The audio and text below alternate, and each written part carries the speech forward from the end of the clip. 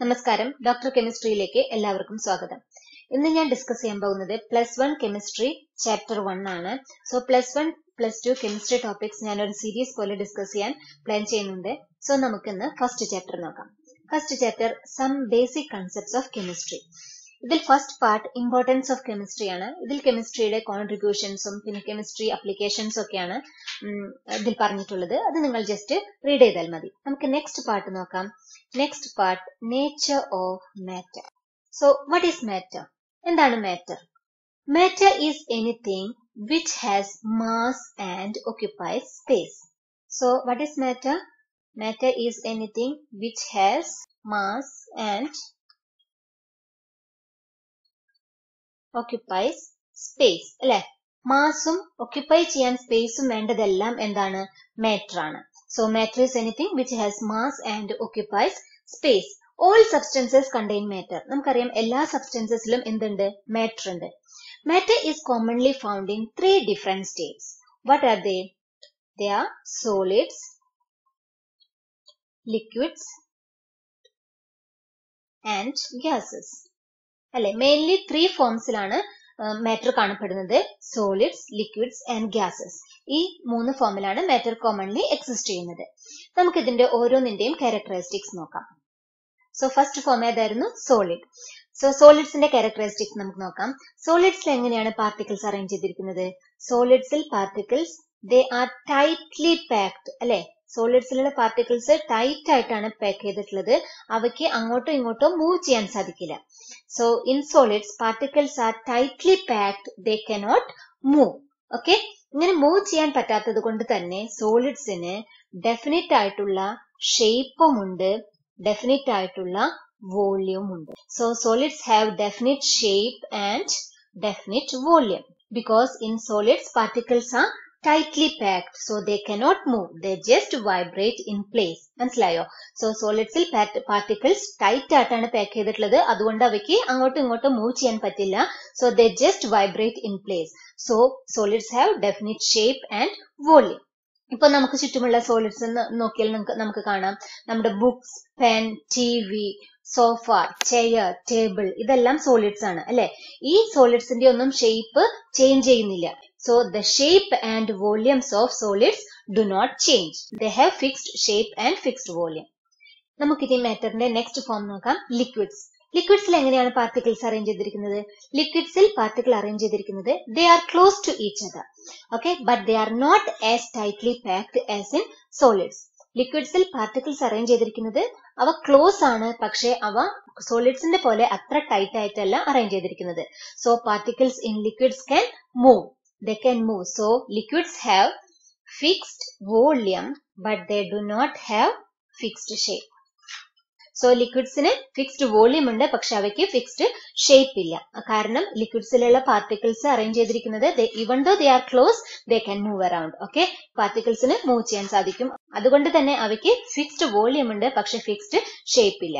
ഇനി next form ആണ് gases ഗ്യാസസിൽ എങ്ങനെയാണ് പാർട്ടിക്കിൾസ് അറേഞ്ച് ചെയ്തിരിക്കുന്നത് in gases the particles are far apart so they can move around So gases have neither fixed volume nor definite shape. In gases, particles are far apart so they can move around easily so that they have neither fixed volume nor fixed shape. So നമ്മൾ പറഞ്ഞു ലിക്വിഡ്സിന് definite shape ഇല്ല. They take the shape of the container നമ്മൾ ഏത് കണ്ടെയ്നറിലാണോ liquids എടുക്കുന്നത്? ആ കണ്ടെയ്നറിന്റെ ഷേപ്പാണ് liquids accept ചെയ്യുന്നത്. അതുപോലെ ഗ്യാസസിനും അതെ they do not have fixed volume and fixed shape they occupy the space in the container ഏത് കണ്ടെയ്നറിലാണോ നമ്മൾ എടുക്കുന്നത്? ആ കണ്ടെയ്നറിന്റെ ഫുൾ സ്പേസും ഗ്യാസസ് ഒക്യുപ്പൈ ചെയ്യും. Because in gases the particles are far apart so ഇതാണ് three different forms of matter so നമ്മൾ മൂന്ന് ഡിഫറെന്റ് ഫോംസ് ഓഫ് മാറ്റർ കണ്ടു. ഇനി ഈ മൂന്ന് ഡിഫറെന്റ് ഫോംസിനെയും നമുക്ക് ഇന്റർ കൺവേർട്ട് ചെയ്യാൻ പറ്റും. അതായത് ഒരു ഫോമിലുള്ള മാറ്ററിനെ നമുക്ക് വേറൊരു ഫോമിലേക്ക് ചേഞ്ച് ചെയ്യാൻ പറ്റും. സോളിഡ്സിനെ ലിക്വിഡ്സ് ആക്കി ചേഞ്ച് ചെയ്യാൻ പറ്റും. അതുപോലെ ലിക്വിഡ്സിനെ ഗ്യാസസ് ആക്കി ചേഞ്ച് ചെയ്യാൻ പറ്റും. തിരിച്ച് ഗ്യാസസിനെ ലിക്വിഡ്സ് ആക്കി ചേഞ്ച് ചെയ്യാൻ പറ്റും. അതുപോലെ ലിക്വിഡ്സിനെ സോളിഡ്സ് ആക്കി ചേഞ്ച് ചെയ്യാൻ പറ്റും. നമ്മൾ ജസ്റ്റ് ടെമ്പറേച്ചറും പ്രഷറും ഒന്ന് അഡ്ജസ്റ്റ് ചെയ്താൽ മതി. So the three states of matter are interconvertible by just heating or cooling so സോളിഡ്സിനെ heat ചെയ്ത് കഴിഞ്ഞാൽ എന്ത് സംഭവിക്കും? നമുക്കറിയാം സോളിഡ്സിനെ ഹീറ്റ് ചെയ്ത് കഴിഞ്ഞാൽ ലിക്വിഡ് ആയിട്ട് മാറും. ലിക്വിഡിനെ ഹീറ്റ് ചെയ്ത് കഴിഞ്ഞാൽ എന്തായി മാറും? ലിക്വിഡിനെ ഹീറ്റ് ചെയ്ത് കഴിഞ്ഞാൽ ഗ്യാസ് ആയിട്ട് മാറും. അതുപോലെ ഗ്യാസിനെ നമ്മൾ കൂൾ ചെയ്ത് കഴിഞ്ഞാൽ എന്ത് സംഭവിക്കും? ഗ്യാസിനെ കൂൾ ചെയ്ത് കഴിഞ്ഞാൽ ഗ്യാസ് ലിക്വിഡ് ആയിട്ട് മാറും. അല്ലെ? വാട്ടർ വേപ്പർ കൂൾ ചെയ്ത് കഴിഞ്ഞാൽ നമുക്കറിയാം അത് തിരിച്ച് വാട്ടർ ആയിട്ട് മാറും. സോ ഗ്യാസിനെ കൂൾ ചെയ്ത് കഴിഞ്ഞാൽ നമുക്ക് തിരിച്ച് ലിക്വിഡ് ആക്കി മാറ്റാൻ പറ്റും. അതുപോലെ ലിക്വിഡിനെ കൂൾ ചെയ്ത് കഴിഞ്ഞാൽ നമുക്ക് എന്താക്കി മാറ്റാം?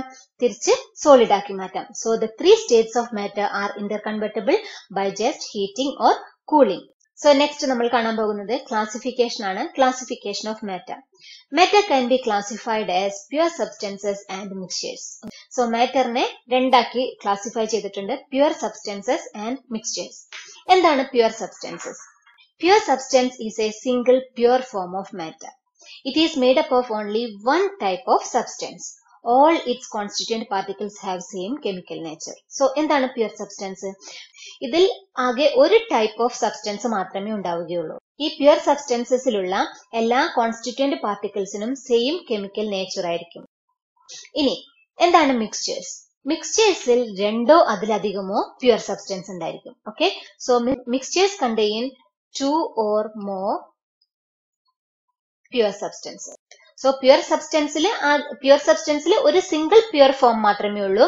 എന്നാൽ മിക്സ്ചേഴ്സിൽ two or more pure substances ഉണ്ടായിരിക്കും. അതാണ് മിക്സ്ചേഴ്സ് ചേഴ്സിൽ അടങ്ങിയിരിക്കുന്ന പ്യുർ പ്യുർ സബ്സ്റ്റൻസസിന്റെ കോമ്പോസിഷൻ വേരിയബിൾ ആണ്.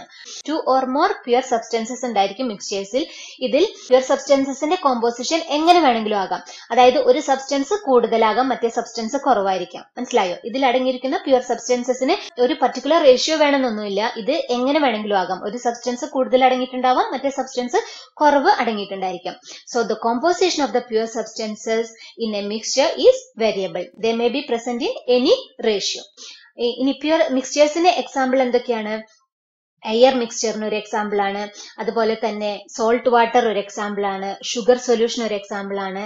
സോ ഇതിലെല്ലാം ഒന്നിൽ കൂടുതൽ പ്യുവർ സബ്സ്റ്റൻസസ് അടങ്ങിയിട്ടുണ്ട്. അല്ലെ? സോ ഇതെല്ലാം മിക്സ്ചേഴ്സ് ആണ്. സോ മിക്സ്ചേഴ്സിന് എക്സാമ്പിൾ എന്താണ്? Air sugar solution salt water ഇതെല്ലാം മിക്സ്ചേഴ്സിന് എക്സാമ്പിൾ ആണ്. ഇനി പ്യുവർ സബ്സ്റ്റൻസസിന്റെ എക്സാമ്പിൾസ് ഏതൊക്കെയാണ്? Oxygen gas water copper wire ഇതെല്ലാം എന്താണ്? പ്യുവർ സബ്സ്റ്റൻസസിന് എക്സാമ്പിൾ ആണ്. ഇനി നമുക്ക് പ്യുവർ സബ്സ്റ്റൻസസിന്റെ ക്ലാസിഫിക്കേഷൻ നോക്കാം. Pure substances are classified as elements and compounds എന്താണ് elements Elements consist of only one type of particles and these particles can be atoms or molecules. So elementsൽ ആകെ ഒരു type of particles മാത്രമേ ഉണ്ടായിരിക്കുകയുള്ളൂ. So one type of atoms or molecule. അതാണ് elements. ഇനി എന്താണ് compounds? Compounds contain two or more atoms of different elements. ഒന്നോ അതിൽ കൂടുതലോ ഡിഫറെന്റ് എലമെന്റ്സ് അടങ്ങിയിട്ടുണ്ടെങ്കിൽ അതൊരു കോമ്പൗണ്ട് ആയി. എന്നാൽ ഇലമെന്റ്സിൽ ഒരു ടൈപ്പ് ആറ്റംസ് അല്ലെങ്കിൽ ഒരു ടൈപ്പ് മോളിക്യൂൾസ് മാത്രമേ എലമെന്റ്സിൽ ഉണ്ടായിരിക്കുകയുള്ളൂ. ഇനി ഈ ആറ്റംസ് അല്ലെങ്കിൽ മോളിക്യൂൾസ് എന്ന് പറയുമ്പോൾ നിങ്ങൾ കൺഫ്യൂസ്ഡ് ആവണ്ട. ഒരു ടൈപ്പ് ഓഫ് ആറ്റംസ് എന്ന് പറഞ്ഞാൽ അതിന് എക്സാമ്പിൾ ഞാൻ പറയാം. അതിന് എക്സാമ്പിൾ വരുന്നത് കോപ്പർ അലുമിനിയം മെഗ്നീഷ്യം ഇതെല്ലാം ആറ്റംസ് ആയിട്ടാണ് എക്സിസ്റ്റ് ചെയ്യുന്നത് അല്ലെ? അതായത് രണ്ട് ആറ്റംസ് കൂടി ചേർന്ന് മോളിക്യൂൾസ് ആവുന്നില്ല ഇവിടെ. ഒരു ആറ്റം മാത്രമായിട്ട് ഇവയ്ക്ക് എക്സിസ്റ്റ് ചെയ്യാൻ സാധിക്കും. സോ ഇതാണ് ഈ വൺ ടൈപ്പ് ഓഫ് ആറ്റംസ് എന്നതുകൊണ്ട് ഉദ്ദേശിച്ചത്. സോ ഇതിൽ കോൺസ്റ്റിറ്റ്യൂന്റ് പാർട്ടിക്കിൾസ് എന്താണ്? ആറ്റംസ് ആണ്. ഇനി മോളിക്യൂൾസ് കോൺസ്റ്റിറ്റ്യൂന്റ് പാർട്ടിക്കിൾസ് ആയി വരുന്നതിന് എക്സാമ്പിൾസ് ഏതൊക്കെയാണ്? O two N two hydrogen ഈ ഗ്യാസസ് ഈ ഗ്യാസസ് എല്ലാം നമുക്കറിയാം ഇവ ആറ്റംസ് ആയിട്ട് എക്സിസ്റ്റ് ചെയ്യില്ല. രണ്ട് ആറ്റംസ് കൂടി ചേർന്ന് ഒരു മോളിക്യൂൾ ഉണ്ടാവും അല്ലെ? അപ്പൊ ഇതിൽ constituent particle or basic particle എന്താണ്? മോളിക്യൂൾസ് ആണ്. ഇവയ്ക്ക് ആറ്റംസ് ആയിട്ട് തനിയെ എക്സിസ്റ്റ് ചെയ്യാൻ സാധിക്കില്ല. രണ്ട് ആറ്റംസ് കൂടി ചേർന്ന് മോളിക്യൂൾസ് ആയി മാത്രമേ ഇവ എക്സിസ്റ്റ് ചെയ്യുള്ളൂ. സോ ഇതിൽ കോൺസ്റ്റിറ്റ്യൂന്റ് പാർട്ടിക്കിൾസ് ഏതാണ്? ബേസിക് പാർട്ടിക്കിൾ മോളിക്യൂൾ ആണ്. സോ ഇലമെന്റ്സിൽ ആകെ ഒരു ടൈപ്പ് ഓഫ് ആറ്റംസ് അല്ലെങ്കിൽ ഒരു ടൈപ്പ് ഓഫ് മോളിക്യൂൾസ് മാത്രമേ ഉണ്ടാവുകയുള്ളൂ. സോ ഇതിൽ ഇതിൽ ഇതിലുള്ള ബേസിക് പാർട്ടിക്കിൾ മോളിക്യൂൾ ആണെങ്കിൽ പോലും അത് സെയിം ടൈപ്പ് ഓഫ് ആറ്റം കൊണ്ട് ഉണ്ടാക്കിയതാണ് അല്ലെ? രണ്ട് ഓക്സിജൻ ആറ്റം കൂടി ചേർന്നിട്ടാണ് ഓക്സിജൻ മോളിക്യൂൾ ഉണ്ടായിട്ടുള്ളത്. അതുപോലെ രണ്ട് നൈട്രജൻ ആറ്റം കൂടി ചേർന്നിട്ടാ കൂടി ചേർന്നിട്ടാണ് നൈട്രജൻ മോളിക്യൂൾ ഉണ്ടായിട്ടുള്ളത്. സോ ഇതിന്റെ ബേസിക് എന്ന് പറഞ്ഞാൽ ഒരു type of atoms single type of atoms മാത്രമേ ഇതിലുള്ളൂ. ചിലതിന്റെ ബേസിക് പാർട്ടിക്കിൾ എന്താണ്? കോൺസ്റ്റിറ്റ്യൂന്റ് പാർട്ടിക്കിൾ ആറ്റംസ് ആവാം. എന്നാൽ ചിലതിന്റെത് മോളിക്യൂൾസ് ആവാം. അങ്ങനെയാണെങ്കിൽ പോലും അത് ഒരു ടൈപ്പ് ഓഫ് ആറ്റംസ് കൊണ്ട് ഉണ്ടാക്കിയിട്ടുള്ളതാണ്. So elements contain only one type of atoms ഇനി നെക്സ്റ്റ് എന്താണ് കോമ്പൗണ്ട്സ് രണ്ട് ഡിഫറെന്റ് ഇലമെന്റ്സ് കമ്പൈൻ ചെയ്തിട്ട് രണ്ട് ഡിഫറെന്റ് ഇലമെന്റ്സിന്റെ ആറ്റംസ് അടങ്ങിയിട്ടുണ്ടെങ്കിൽ അതിനെ കോമ്പൗണ്ട് എന്നാണ് പറയാം. അതിന് എക്സാമ്പിൾ കാർബൺ ഡയോക്സൈഡ് വാട്ടർ ഇതെല്ലാം എന്താണ്? കോമ്പൗണ്ട് ആണ്. കാരണം ഇതിൽ ഒരു ഇലമെന്റ് മാത്രമല്ല ഒരു ടൈപ്പ് ആറ്റം മാത്രമല്ല ഉള്ളത്. കാർബൺ ആറ്റവും ഉണ്ട് ഓക്സിജൻ ആറ്റംസും ഉണ്ട് അല്ലെ? സോ ഡിഫറെന്റ് ടൈപ്സ് ഓഫ് ഇലമെന്റ്സിന്റെ ആറ്റംസ് അടങ്ങിയിട്ടുള്ളത് കൊണ്ട് ഇത് കോമ്പൗണ്ട് ആണ്. ഒരു ടൈപ്പ് ഓഫ് ആറ്റം മാത്രമാണെങ്കിൽ അത് ഇലമെന്റ് ആണ്. പക്ഷെ ഡിഫറെന്റ് ടൈപ്സ് ഓഫ് ആറ്റംസ് അടങ്ങിയിട്ടുണ്ടെങ്കിൽ അത് കോമ്പൗണ്ട് ആണ്. ഓക്കെ സോ ഇലമെന്റ്സും കോമ്പൗണ്ട്സും ക്ലിയർ ആയി എന്ന് വിചാരിക്കുന്നു.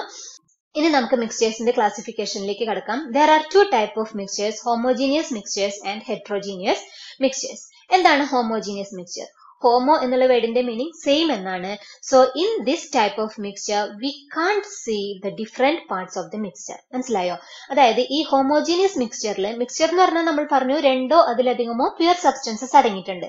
പക്ഷേ ഇങ്ങനെ രണ്ടോ അതിലധികമോ പ്യുർ സബ്സ്റ്റൻസസ് അടങ്ങിയിട്ടുണ്ടെങ്കിൽ പോലും നമുക്ക് ഈ ഡിഫറെന്റ് പാർട്സിനെ അല്ലെങ്കിൽ ഈ ഡിഫറെന്റ് സബ്സ്റ്റൻസസിനെ സെപ്പറേറ്റ് ആയി കാണാൻ സാധിക്കില്ല. ഹോമോജീനിയസ് മിക്സ്ചേഴ്സിൽ നമുക്ക് ഈ ഡിഫറെന്റ് സബ്സ്റ്റൻസസിനെ സെപ്പറേറ്റ് ആയിട്ട് കാണാൻ സാധിക്കില്ല. നമുക്ക് ഒരു ഒരു സബ്സ്റ്റൻസ് ആയി മാത്രമേ നമുക്ക് അതിനെ കാണാൻ സാധിക്കുകയുള്ളൂ. അതിനൊരു എക്സാമ്പിൾ പറയുകയാണെങ്കിൽ ഇപ്പൊ ഷുഗർ സൊല്യൂഷൻ ഷുഗർ സൊല്യൂഷൻ ഒരു മിക്സ്ചർ ആണ്. അല്ലെ? അതിൽ വാട്ടറും ഉണ്ട് ഷുഗറും ഉണ്ട്. പക്ഷെ നമ്മൾ അതിനെ കാണുമ്പോഴേ എങ്ങനെയാ? അതൊരു ഒറ്റ ക്ലിയർ സൊല്യൂഷൻ ആയിട്ടാണ് നമ്മൾ കാണുന്നത്. അല്ലെ? നമുക്കതിനെ ഒരൊറ്റ ക്ലിയർ സൊല്യൂഷനായി മാത്രമേ കാണാൻ സാധിക്കുള്ളൂ. All you could see is just a clear solution we cannot see the different parts of the mixture അതായത് we cannot see sugar and water separately okay we just see a clear solution അതായത് homogeneous മിക്സ്ചേഴ്സിൽ different പാർട്സിനെ നമുക്ക് separate ആയി കാണാൻ സാധിക്കില്ല. ഇനി എന്താണ് ഹെട്രോജീനിയസ് മിക്സ്ചർ ഹെട്രോജീനിയസ് മിക്സ്ചറിൽ നമുക്ക് ഈ ഡിഫറെന്റ് പാർട്സിനെ സെപ്പറേറ്റ് ആയി കാണാൻ സാധിക്കും.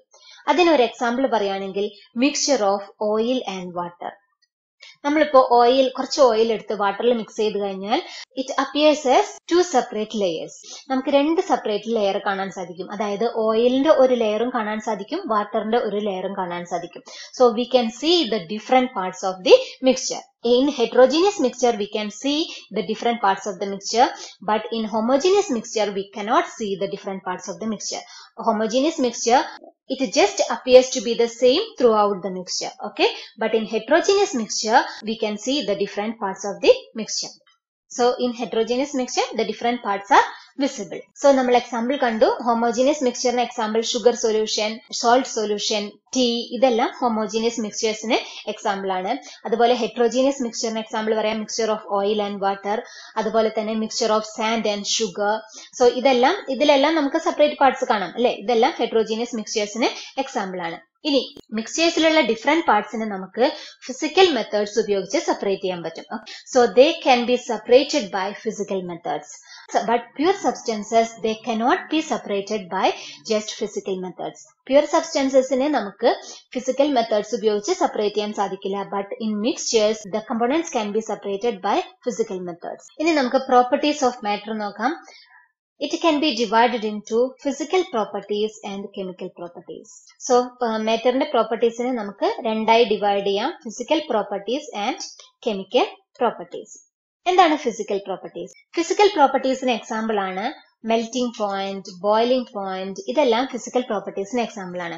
സോ ഈ ഫിസിക്കൽ പ്രോപ്പർട്ടീസ് ഒബ്സർവ് ചെയ്യുമ്പോൾ ഈ സബ്സ്റ്റൻസിന്റെ കെമിക്കൽ ഐഡന്റിറ്റിക്ക് ഒരു ചേഞ്ചും വരുന്നില്ല. So physical properties are observed without changing the chemical identity of a substance so physical properties നമ്മൾ ഒബ്സർവ് ചെയ്യുമ്പോൾ അതിന്റെ ആ സബ്സ്റ്റൻസിന്റെ കെമിക്കൽ ഐഡന്റിറ്റിയെ നമ്മൾ ചേഞ്ച് ചെയ്യുന്നില്ല. They are observe without changing their chemical identity എന്നാൽ കെമിക്കൽ പ്രോപ്പർട്ടീസ് ഒബ്സർവ് ചെയ്യുമ്പോൾ അതിന്റെ കെമിക്കൽ ഐഡന്റിറ്റിക്ക് ചേഞ്ച് സംഭവിക്കുന്നുണ്ട്. So chemical properties are observe by change in the chemical identity of the substance chemical properties നമ്മൾ observe ചെയ്യുമ്പോൾ അതിന്റെ chemical ഐഡന്റിറ്റിക്ക് അതായത് ഒരു സബ്സ്റ്റൻസ് വേറൊരു സബ്സ്റ്റൻസ് ആയി മാറുന്നുണ്ട്. ഫോർ എക്സാമ്പിൾ ഓക്സിഡേഷൻ ഓക്സിഡേഷൻ ഒക്കെ സംഭവിക്കുമ്പോൾ ഒരു സബ്സ്റ്റൻസ് കംപ്ലീറ്റ് ആയിട്ടും വേറൊരു സബ്സ്റ്റൻസ് ആയി മാറുന്നു. സോ അതിന്റെ കെമിക്കൽ ഐഡന്റിറ്റി ചേഞ്ച് ആയി. എന്നാൽ ഫിസിക്കൽ പ്രോപ്പർട്ടീസിൽ നമ്മൾ ജസ്റ്റ് മെൽറ്റിംഗ് പോയിന്റോ അല്ലെങ്കിൽ ബോയിലിംഗ് പോയിന്റോ ഒബ്സർവ് ചെയ്യുമ്പോൾ അതിനെ മെൽറ്റ് ചെയ്യുമ്പോൾ അതിന്റെ സ്റ്റേറ്റിന് മാത്രമേ ചേഞ്ച് സംഭവിക്കുന്നുള്ളൂ. ഒരു സ്റ്റേറ്റിൽ നിന്ന് മെൽറ്റിംഗ് പോയിന്റ് ഒബ്സർവ് ചെയ്യുമ്പോൾ സോളിഡിൽ നിന്ന് അത് ലിക്വിഡായി മാറുന്നു. അതിന്റെ സ്റ്റേറ്റിന് മാത്രമേ ചേഞ്ച് സംഭവിക്കുന്നുള്ളൂ. എന്നാൽ അതിന്റെ കെമിക്കൽ ഐഡന്റിറ്റിക്ക് ചേഞ്ച് സംഭവിക്കുന്നില്ല. മനസ്സിലായോ? എന്നാൽ കെമിക്കൽ പ്രോപ്പർട്ടീസിൽ ഒരു സബ്സ്റ്റൻസ് കംപ്ലീറ്റ് ആയി വേറൊരു സബ്സ്റ്റൻസ് ആയി മാറുന്നു. ഇനി നമുക്ക് തിരിച്ചതിനെ പഴയ സബ്സ്റ്റൻസ് ആക്കാൻ സാധിക്കില്ല. സോ കെമിക്കൽ പ്രോപ്പർട്ടീസ് ഒബ്സർവ് ചെയ്യുമ്പോൾ the chemical identity of the substance is changed while in physical properties The chemical identity of the substance is not changed so these are the two different properties of matter physical properties and chemical properties Now let's see units of measurement. എന്താണ് units of measurement കെമിസ്ട്രിയിൽ നമുക്ക് quantitative measurements ആവശ്യമുണ്ട്. അല്ലെ? ഇപ്പോൾ ലാബിൽ ഏതെങ്കിലും ഒരു substance വെയ് ചെയ്യുമ്പോൾ നമുക്ക് എന്താണ് ക്വാണ്ടിറ്റേറ്റീവ് മെഷർമെന്റ് വേണം. എത്ര ക്വാണ്ടിറ്റി നമ്മൾ എടുത്തു? നമുക്ക് ക്വാണ്ടിറ്റേറ്റീവ് മെഷർമെന്റ്സിന്റെ ആവശ്യമുണ്ട്. സോ ക്വാണ്ടിറ്റേറ്റീവ് മെഷർമെന്റ് എന്ന് പറഞ്ഞാൽ എന്താണ്? Quantitative measurement includes a number and a unit മനസ്സിലായോ? ക്വാണ്ടിറ്റേറ്റീവ് മെഷർമെന്റിൽ ഒരു നമ്പറും ഉണ്ടായിരിക്കും പിന്നെ ഒരു യൂണിറ്റും ഉണ്ടായിരിക്കും. ഫോർ എക്സാമ്പിൾ ടു ഗ്രാംസ് നമ്മളിപ്പോൾ സോഡിയം ക്ലോറൈഡ് നമ്മൾ ടു ഗ്രാംസ് എടുത്തു. ടു ഗ്രാംസ് എന്ന് പറഞ്ഞാൽ അതൊരു ക്വാണ്ടിറ്റേറ്റീവ് മെഷർമെന്റ് ആണ്. അവിടെ ഒരു നമ്പറും ഉണ്ട് പിന്നെ അത് ഏത് യൂണിറ്റിലാണോ നമ്മൾ മെഷർ ചെയ്തത്. ഇപ്പൊ ഗ്രാംസിലാണ് മെഷർ ചെയ്തത് അല്ലെ?